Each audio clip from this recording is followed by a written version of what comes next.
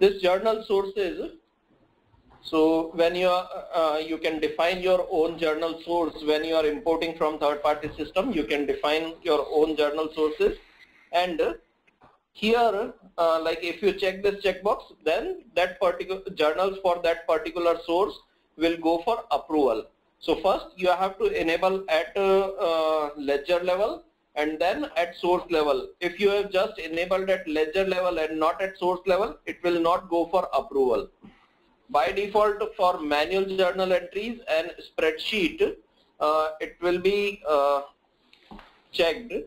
But uh, somebody has unchecked this. Normally like this all, all your spreadsheet journals and uh, your manual journals like normally this will be the requirement that manual and spreadsheet journals go through some approval process okay yeah, but if, if I have uh, clicked here and not clicked there, then?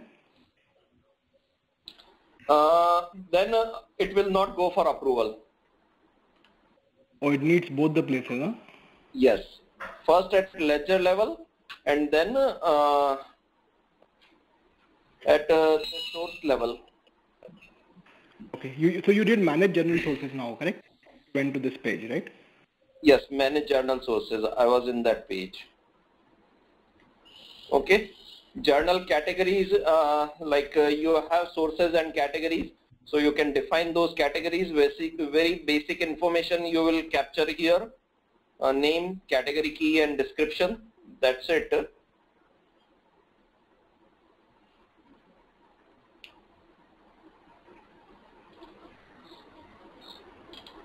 Uh, we'll go through this approval rules. Uh, uh, first, let me complete this reversal criteria set.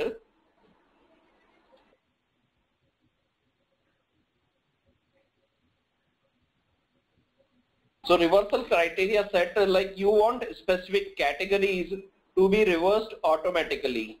Okay. So give some name.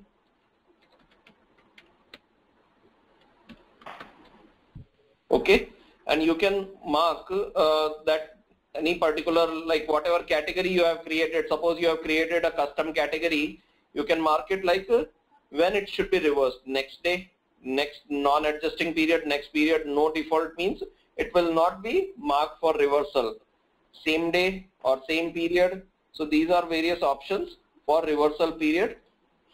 And you want to switch the debit or credit or you want to just change the sign and automatic reversal option like you want to post uh, reverse and post automatically or reverse automatically. So these are various options for this. So you need to define this reversal criteria set and then you will be associating this reversal criteria set with your uh, ledger in specify ledger option. So in manage categories, you have specified very basic information, just name and description. But here you are specifying if that category can be reversed and you will be associating that reversal option with the reversal set criteria set.